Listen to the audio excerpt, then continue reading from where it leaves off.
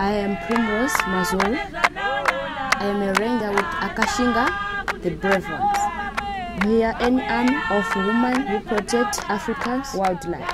This is dangerous work, but I have no fear. If you harm our animals, we will catch you. All Akashinga women come from hardship, violent pasts, broken homes, widows, and orphans. My mother died when I was six. I don't know where my father is. I left my husband because he was abusing me. Before Akashinga, my daughter and I had nowhere to go.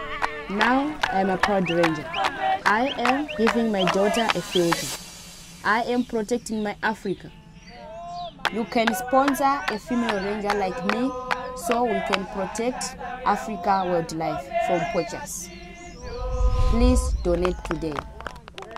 Thank you, thank you.